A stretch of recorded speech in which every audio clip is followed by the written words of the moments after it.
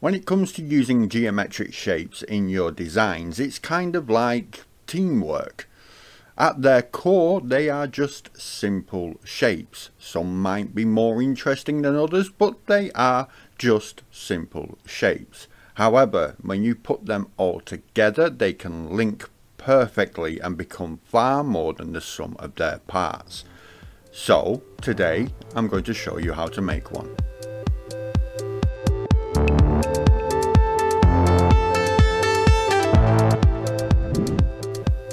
Hello my friends, welcome back to another video. It's Rob here from Button Press Graphics and today I'm going to show you how to make a geometric shape, a bit like this one.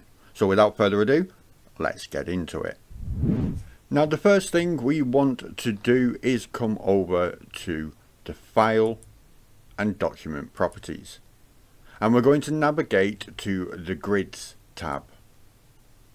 Now I have used grids in a previous tutorial so if you haven't checked out that video please feel free to go and check that out before watching this. But for now we are just going to select the axonometric grid and we're going to hit new.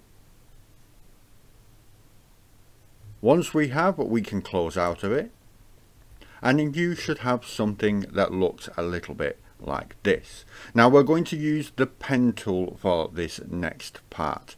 So we're going to come across to the left toolbar, select the pen tool, and we're going to make sure that snapping is turned on in the top right corner too. Now what we want to do is we want to think in terms of a cube and a cube has equal length in every single side and edge. That's what makes it a cube.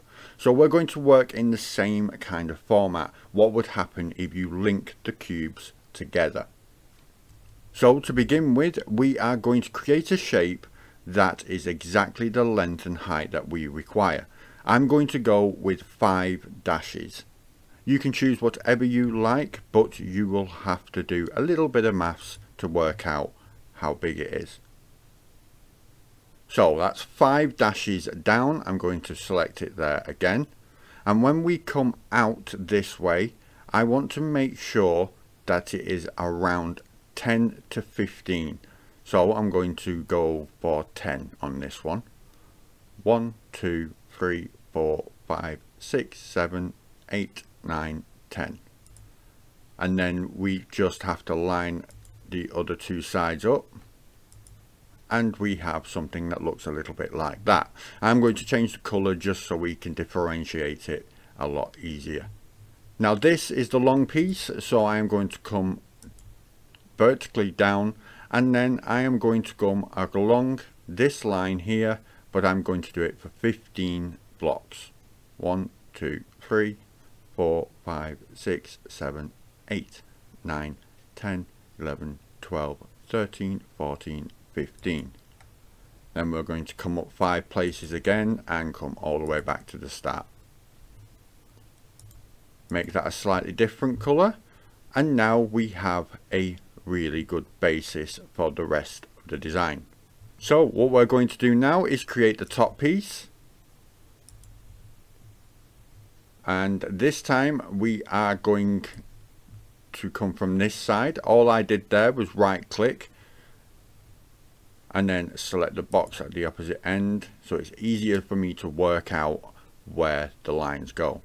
One, two, three, four, five, and then one two three four five. And again one two three four five.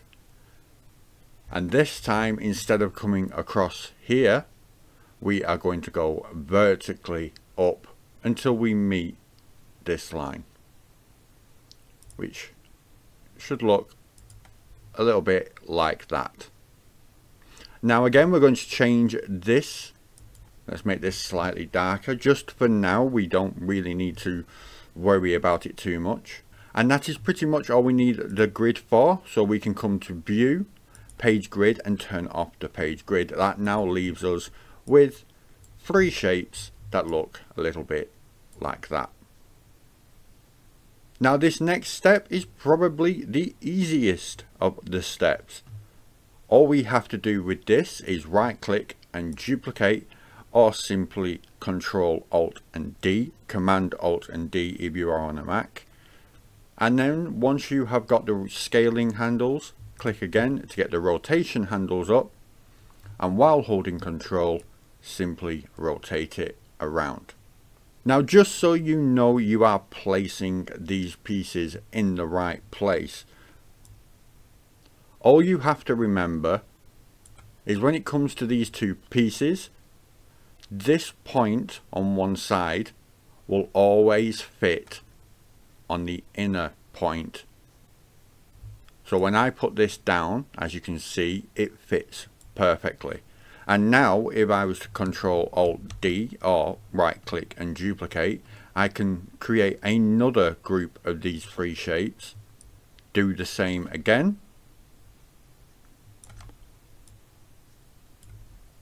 and you have the basis for your design. And just like that, you have made a geometric shape, which is essentially three shapes that when you put them together and rotate them, they fit perfectly to give a really cool design. And now you can go one step further. Instead of just leaving it as is, you can change the colour and add shadows too. So I will show you exactly what I mean. When it comes to light and shadow, there will always be one side that gets hit with more light than another. So my default setting inside my brain is always having the light coming from the left. Occasionally if I think the design needs it I will make it come from the right but for the most part I will always tend to go from the left. So for this one I'm going to do exactly the same. That means that this piece, and if I hold shift while I'm selecting them, that piece and that piece. These are all facing this way. And the light's coming from there, so we're going to make these a lot lighter. For this we'll need the fill and stroke menu, so drag out your menus from the right hand side. If your fill and stroke is not open already, you can find it in the top toolbar right here. And if you need the align and distribute menu, you can find that one right here. By default, I have all mine on. So with these three selected, we're going to go to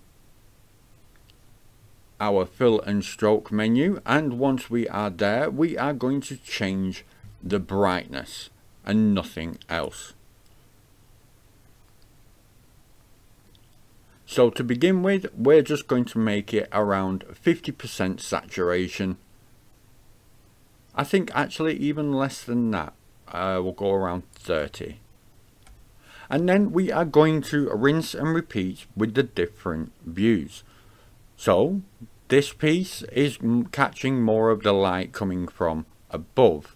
But I have the light coming from the side. So I want this to be slightly darker than these but not too dark. So I will show you exactly what I mean.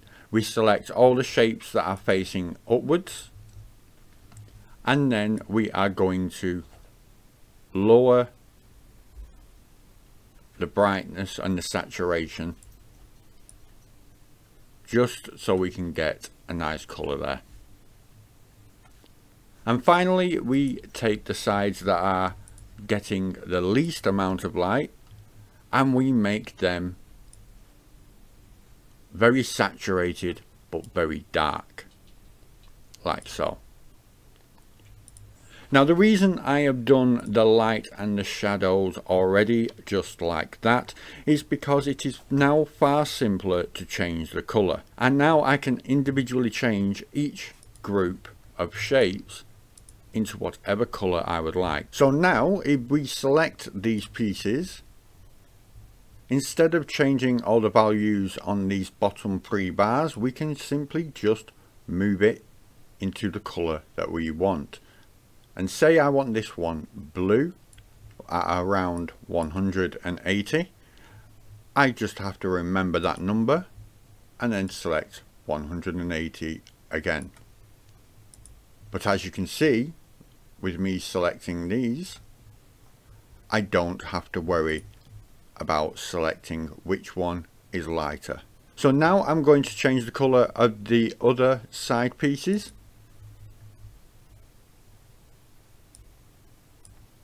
And now just like that you have a much better design. But to be fair I think I am going to just darken this a little bit more. Just so it has more contrast with these side pieces.